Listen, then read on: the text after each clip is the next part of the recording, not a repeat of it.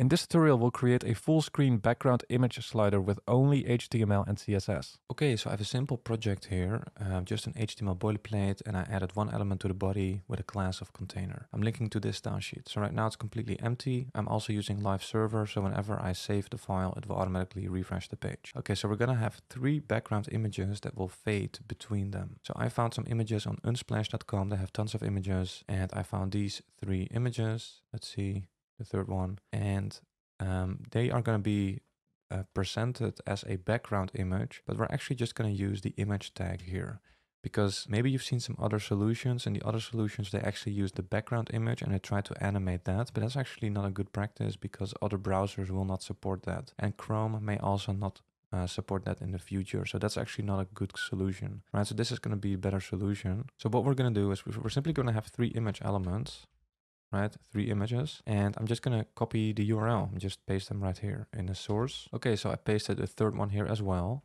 So if I save now, let's see what we get. It's gonna be a big mess. Yeah, so now we have this. All these images are gonna be displayed one after another. They're gonna be way too big.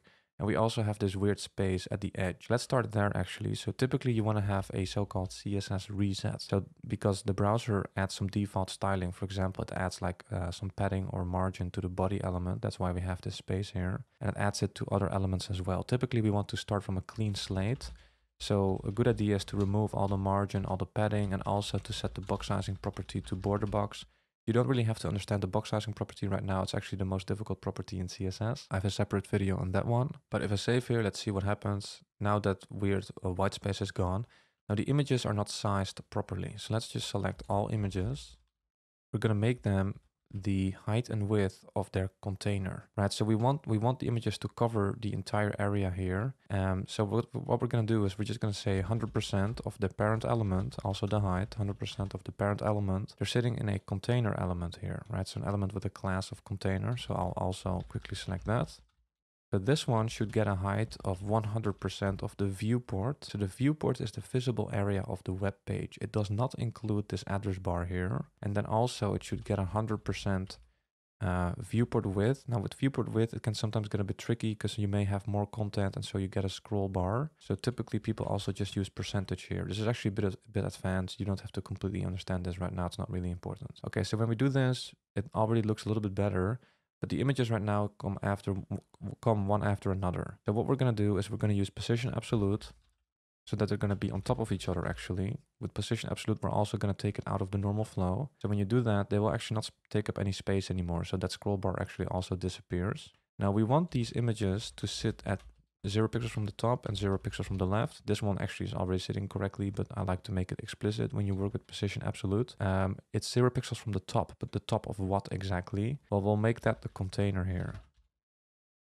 So the container is going to be the reference point for that, right? So uh, this is actually also pretty advanced. So you don't have to completely understand this right now. Now, when you work with images and you start playing with the height and widths of them, it's a it's actually good practice to use object fit cover so that doesn't repeat itself and that it um, nicely uh, re uh, retains the aspect ratio. Okay, so now we basically have those three images and they actually sit on top of each other. So um, let's see. So they actually sit on top of each other and that's actually the last one now that's being displayed, right? Because um, well, the browser can only display one, right? So it needs to decide which one of these should be displayed now.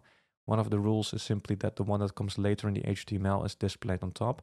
Right, so you can play around with um, the order of these to get um, the starting image.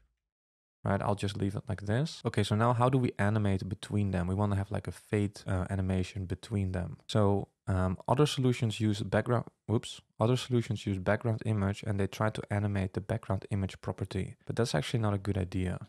So we're going to do it differently. We're going to create a set of keyframes, right? So we're going to use a CSS animation as it's called, and I'm just going to call it fade right? So it's really important that you have mastered CSS as a uh, web developer. So definitely check out my professional CSS course if you want to take it to a professional level. You can find the link in the description. So we're going to have three images and we're going to use opacity in this case, right? That's the that's what we're going to animate. So at the beginning, it should be opacity one. And then after a third, because we have three images, the opacity should be zero. Then after two thirds, we could do 66, 67%. The opacity should still be zero. And then at 100%, we're going to make the opacity 1. Right, so a little bit complicated here. but uh, you'll see that it will work. Okay, so these are the steps of an animation, right? So now we need to apply these steps to a particular element. So we're gonna select all the images here. We're gonna apply to all the images. We're gonna say, well, animation, and then it's gonna ask us which steps. Well, the fade steps, right? We call these set of keyframes fade. The entire animation will last, let's say, nine seconds. The timing function should be ease in out. The default is ease, but ease in out looks a little bit better when you fade between images. And the animation should be infinite, right? So it shouldn't just stop after one go. It should it should continue repeating. And we're also going to say alternate. So that so that goes from 1 to 0 again. Okay.